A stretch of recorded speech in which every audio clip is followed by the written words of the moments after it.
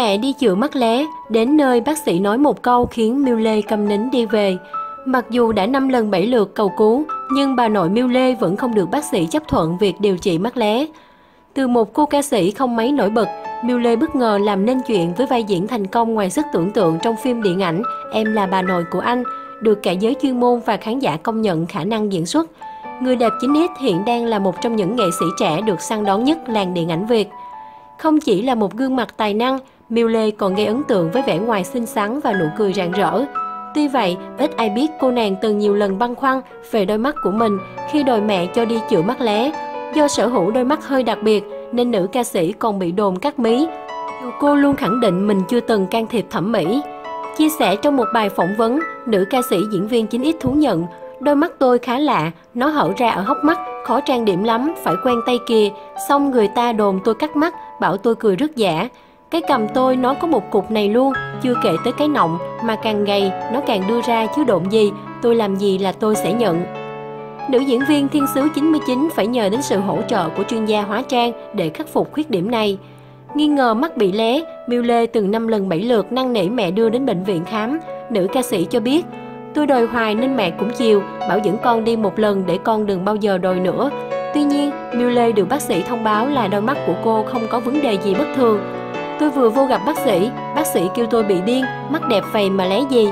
Tôi nói ai cũng kêu mắt con nó bị lé thiệt đó bác sĩ. Bác sĩ bảo đứa nào nói lé dắt nó lên đây, Miu Lê hài hước kể. Tuy nhiên, giọng ca riêng mình em vẫn chưa hết lo lắng. Thậm chí cô còn yêu cầu bác sĩ cho được điều trị bằng việc đeo kính lé một thời gian. Chỉ khi bác sĩ khẳng định mắt cô hoàn toàn bình thường và đạo đức nghề nghiệp không cho phép để cô đeo kính, Miu Lê mới tạm yên tâm về đôi mắt của mình. Vì lo lắng ngôi sao em là bà nội của anh từng đến bệnh viện để điều trị mắt lé. Có vẻ như người đẹp 9X đã lo lắng thừa khi cô vốn đã sở hữu gương mặt ưa nhìn và đôi mắt biết cười, cũng chính là điểm nhấn đặc biệt khiến khán giả nhớ đến Miu Lê.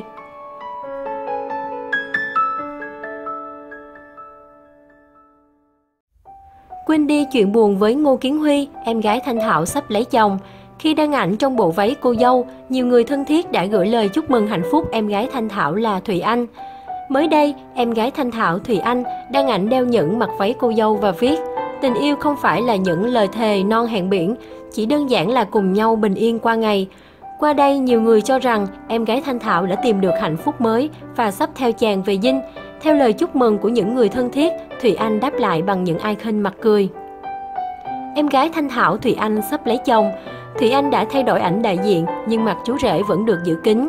Em gái Thanh Thảo xinh đẹp khi mặc váy cô dâu. Thủy Anh nhận được rất nhiều lời chúc phúc của mọi người. Chuyện tình ồn ào của Ngô Kiến Huy và Thủy Anh từng gây rung động dư luận trong một thời gian dài. Khi vướng ồn ào này, Ngô Kiến Huy tuyên bố không hề yêu Thủy Anh và yêu cầu xét nghiệm ADN để xem đứa con có phải của mình không. Sau khi xác thực được bé Minh Chí chính là con ruột của mình, Ngô Kiến Huy mới chịu liên hệ với em gái Thanh Thảo để bàn về kế hoạch chu cấp hàng tháng. Sau ồn ào tình cảm, Thùy Anh đã chuyển sang Mỹ định cư và bắt đầu cuộc sống mới. Tại đây, Thùy Anh chuyển sang bán hàng online. Những nỗi đau mà quá khứ đã được Thùy Anh dần quên đi để bắt đầu một cuộc sống mới. Tại xứ sở cờ hoa, cô đã tìm được người đàn ông có thể dựa vào. Thùy Anh từng bước lấy lại tinh thần sau chuyện tình cảm với Ngô Kiến Huy. Thanh Thảo là người giúp đỡ Thủy Anh quên đi chuyện buồn trong quá khứ. Nữ ca sĩ còn nhận con của em gái làm con nuôi của mình.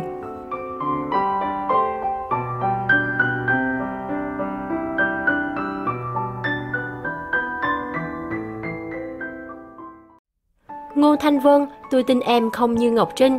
Mặc cho đã nữ bảo rằng cô với đạo diễn phim công Jordan chỉ là bạn, tin đồn hẹn hò giữa hai người vẫn lan khắp. Nhất là khi những hình ảnh đôi trai tài gái sắc tình tứ, những chốn riêng tư tung đầy lên mạng thì người ta càng tin lời đạo diễn tôi sẽ bán nhà ở Mỹ sang Việt Nam sinh sống. Nhưng dù thế nào tôi vẫn tin rằng Ngô Thanh Vân sẽ không bước vào vết xe đổ của Ngọc Trinh. Đạo diễn phim công School Island đăng tải hình ảnh của Ngô Thanh Vân và gọi cô là The Boss.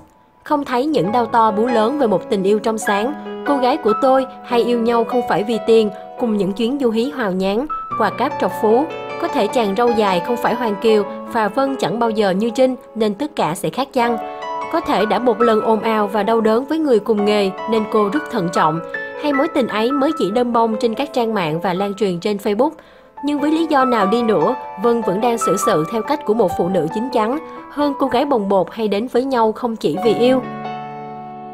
Hai người tình tứ bên nhau ở một khách sạn lớn tại thành phố Hồ Chí Minh. Vân trả lời thế này, tôi may mắn có được cơ hội được biết và làm việc với nhiều nhà làm phim nước ngoài, trong đó có Jordan. Với tôi, Jordan luôn là một người bạn và là đạo diễn tài năng. Làm việc với anh và ekip đã cho tôi nhiều kinh nghiệm bổ ích với việc làm phim trong tương lai. Nhưng ngoài phố thì họ vẫn thấy Ngô Thanh Vân và đạo diễn phim công đã cùng nhau xuất hiện tại một khách sạn lớn thành phố Hồ Chí Minh. Và như bao cặp đôi khác, cả hai có những cử chỉ thân mật, tình tứ giữa chốn đông người không một chút ngần ngại. Còn trước đó, Ngô Thanh Vân chính là người đã hỗ trợ Jordan rất nhiều trong quá trình làm phim tại Việt Nam. Đặc biệt, ở phần cảm ơn cuối phim công School Island, tên của Ngô Thanh Vân cũng được nhắc đến một cách trân trọng. Đáng chú ý hơn, trên Instagram của mình, đạo diễn phim công School Island còn đăng tải hình ảnh của Ngô Thanh Vân không dưới 3 lần và gọi cô là The Boss. Mới hôm qua, người ta thấy anh đi xem nhà trong một dự án ở quận 7 sau khi bóng gió muốn sống ở đất nước của Vân. Tôi chưa vội gọi đó là yêu, cũng không dám võ đoán Vân sẽ thành đôi với chàng đạo diễn râu dài. Nhưng với những gì đang diễn ra, tôi tin nhiều người mừng cho cô hơn là chăm chọc mỉa mai khi rộ lên mối tình 27-72 vài tháng trước. Bởi ai cũng thấy và cũng hiểu anh ấy chắc chắn không như Hoàng Kiều, và Vân cũng chẳng bao giờ xử sự như Ngọc Trinh. Nếu vì tiền, Vân đã có nhiều cơ hội ít thị phi hơn Trinh, còn vì tiếng tâm tôi nghĩ Vân cũng chẳng thiếu, hay cần nhiều vai như vòng eo 56. Nhưng với công thì quả thật vẫn còn nhiều điều khó đoán, định dù anh không phải là trọc phố. Tình yêu đã không biên giới từ lâu và càng khó lường từ ngàn năm trước, nên cả hai đến với nhau cũng chẳng có gì bất ngờ, nhất là khi những hình ảnh ấy, tin tức ấy cùng những gì đang dành cho nhau. Tôi mong họ sẽ an lành và có một happy end. Nếu chuyện ấy xảy ra cũng là một niềm vui cho những người mến mộ Vân và yêu thích phim công School Island.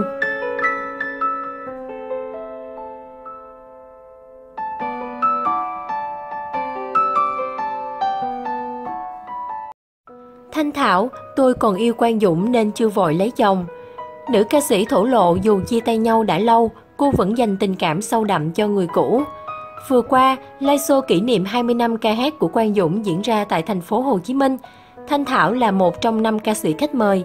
Trên sân khấu, cô giải bày tâm tư dành cho bạn trai một thời. Cô kể mình quen Quang Dũng 15 năm thì có đến 4 năm yêu nhau say đắm. Với Thanh Thảo, ca sĩ là một tài năng nhưng cách tốt. Đến nay, tôi vẫn chưa thể bước lên xe hoa vì còn mãi yêu một người đó là Quang Dũng, cô chia sẻ.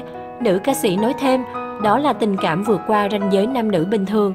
Để bây giờ trong âm nhạc và cuộc sống tôi luôn có Quang Dũng bên cạnh, cô tâm sự.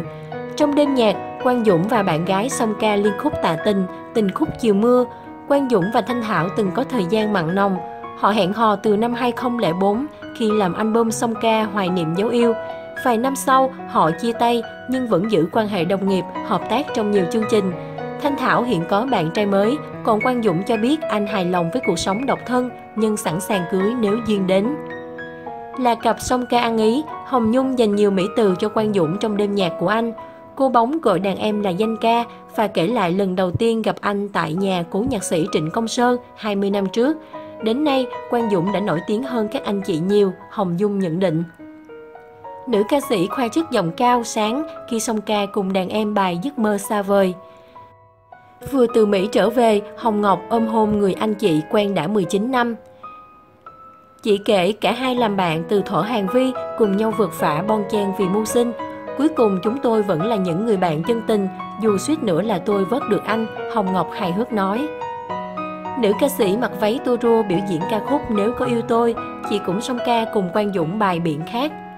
Lệ Quyên cũng là đàn em gắn bó cùng Quang Dũng lâu năm trong nghề. Cô thể hiện liên khúc bản tình cuối xin còn gọi tên nhau, giấu tình buồn.